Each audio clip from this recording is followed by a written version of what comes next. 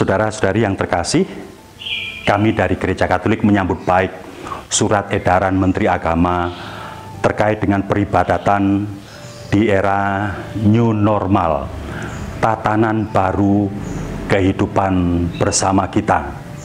Kami memastikan bahwa kami pun akan menyusun protokol peribadatan yang akan membuat penyebaran pandemi COVID-19 terhenti sementara peribadatan tetap kusuk.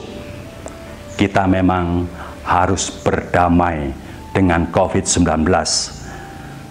Penyebaran pandemi itu belum selesai, tetapi kehidupan keberimanan kita dan kehidupan sosial harus tetap berlangsung dan produktif.